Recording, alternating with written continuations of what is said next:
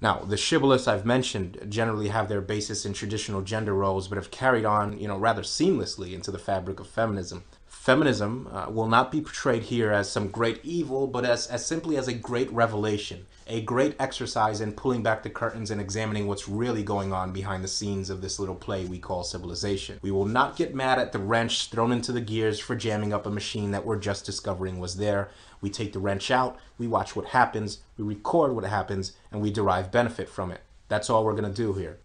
But before I do present to you these shibboleths to be deconstructed, we have to first ask an important question of biological realities and dependencies that men have. I mean, what predilections are we stuck with as men? The portion of the great Western gynocentrisms that appeals to biology cannot be ignored and should be explored in as much detail and depth as possible.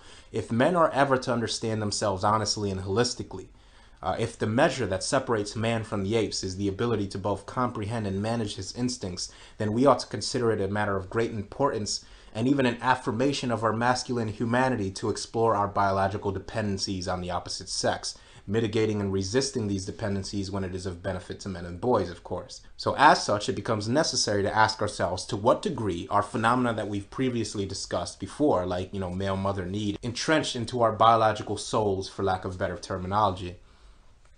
And in embarking on such a journey, I speculate that we're quite likely to discover some uncomfortable truths about male dependencies on the opposite sex that may make us squirm and, you know, turn away in disgust at just how much we are dependent on the biological idiosyncrasies of the female. But as long as these dependencies remain ineffable, we will continue as men and boys to struggle along in silence with our millennially dispersed addiction as would a heroin addict with no knowledge of the physiological mechanism of action of the opiate on the body and brain chemistry of an addict. Quite frankly, the male-female reproductive process can be classified as a benevolent addiction, one that perpetuates us as a species, but an addiction nonetheless. And it's with that in mind that I cite the famous Harlow's monkeys study. Now, this is one of my favorite psychological studies of all time. Uh, th this study attempted to quantify motherly affection and its role in primate development. Uh, now, now, what Harlow did was to separate rhesus monkeys at birth from their mothers and provide to them a surrogate mother made of wood and cloth with a unique face that allowed the infant monkeys to identify as their specific mothers. And, and they were in fact shown to prefer their surrogate mother's uh, individual face over all other surrogate mothers. And also you had a comfort variable that was established. So the surrogate mothers were fixed with a warming mechanism and, and the cloth allowed for the grasping of the surrogate mother, which satiated an instinctual biological comfort mechanism for rhesus monkeys. Uh, rhesus monkeys need to clutch and grab uh, uh, as, as a means of expressing uh, and, and deriving comfort from their mothers. And, uh, you know, all the videos to, uh, the actual videos to these studies are all in the description box for anybody that's interested in, in watching the various experiments that were conducted. very interesting study indeed. The only thing that the surrogate mothers weren't equipped with was a nursing bottle, which was equipped to a plain wire mesh surrogate mother instead, without the comfort cloth and, and the heating mechanism. And this was done to determine which factor took precedence of importance to the infant monkeys. Uh, was it the basic need for sustenance or the basic need for motherly affection? Mother is a bit of plastic and shaggy cloth, a doll with no life of its own but capable of nourishing the life of an infant.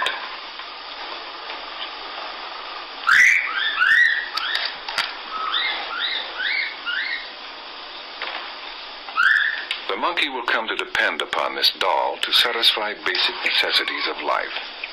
Not only nourishment, but a deeper psychological need for comfort and security. In primate infants, there is an instinctive need to cling to another body, soft and warm. Food or security? Which is motherhood's stronger appeal? Alongside a warm, familiar mother of cloth is a stark wire doll set up as nothing more than a feeding machine. On the cloth mother which has no milk to nourish him, but fulfills some fundamental needs. This experiment revolves around one simple question. Will the infant monkey switch his affection to a wire mother which offers food and life itself.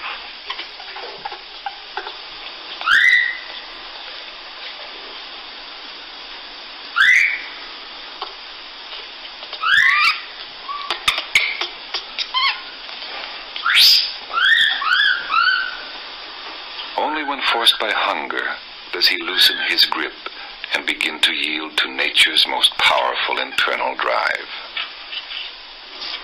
From the wire mother, he derives one thing nourishment. No warmth, no comfort, no feeling of security.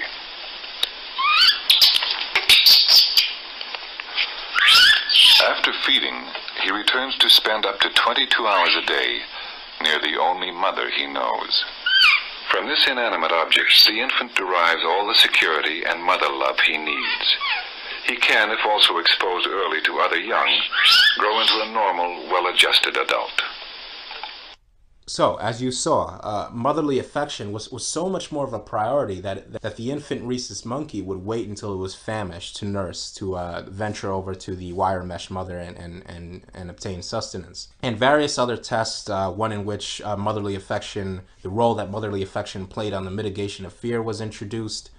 Uh, there was a, a mechanical, uh, I guess, threatening monkey put, in, put in front of the infant rhesus monkey and whether or not the mother was there was what determined uh, whether or not the monkey would actually confront and physically attack and, and, and resist uh, the attack of this of this uh, artificial uh, threat. You know, the fight the, the, the fight or flight reflex was was contingent on whether or not the mother was present. And in another test, uh, the, the monkey was thrown into an unfamiliar environment uh, where it was tasked with exploring that unfamiliar environment. And, and again, the presence of the mother determined whether or not the, the monkey could successfully explore these, uh, these unfamiliar environments and learn more about the environment around him or her. So, as you can see, uh, motherly affection did in fact play a huge part in whether or not these monkeys successfully navigated their fears of the unknown and unfamiliar. But the part that I thought was, was the most telling about this experiment was when Harlow introduced these the Iron Maiden surrogate mothers, and these were so called in reference to the spiked medieval torture device. It was just this this uh, this this uh, man-shaped coffin-like device that was filled with spikes that someone would walk into. They would close the device, and and and and in doing so, impale uh, the poor soul who was who was uh, trapped in there. And so with these Iron Maiden surrogate mothers, blast of ice water and spikes would shoot out of the surrogate mothers in order to simulate abuse. And the fascinating part was that it turned out that even still, the infant monkeys craved comfort so badly. I mean, they needed their mothers so intensively that they still would not let their mothers go, even during these bouts of abuse. They needed to cling to their mother even when they serially abused them. Now, I reference this study to highlight just how strong the ingrained need for motherly affection can be in a species that shares upward of 94% of our DNA. I cite this study not to definitively prove anything about human nature, uh, but to pose a question about it. And so the question that needs to be asked is to what degree are human beings, and for our purposes specifically, human boys, beholden to these same maternal needs? And does this also translate later in life to male mother need in courtship? I suspect the answer to this question is paramount to decoding the innermost workings of the male mind. Now, in my video on male mother need and civilizational male draw, I talk of a propensity, uh, specifically in the uneducated, uninitiated blue pill male, to seek solace in the fantasy that there exists somewhere. I'm quoting directly here that there exists somewhere a kind, caring, exceptionally warm woman that will demand of him only what he demands of her. That is, you know, simple companionship and affection. It's a type of unconditionalism. He seeks the one pure woman who isn't with him for her own biological self interest this is what motivates men like Michael Jordan or Kobe Bryant. Uh, we're talking about men who can literally afford harems, li literal harems of fertile, genetically fit women of reproductive age to instead pair up with one woman in marriage and take great financial risk in doing so.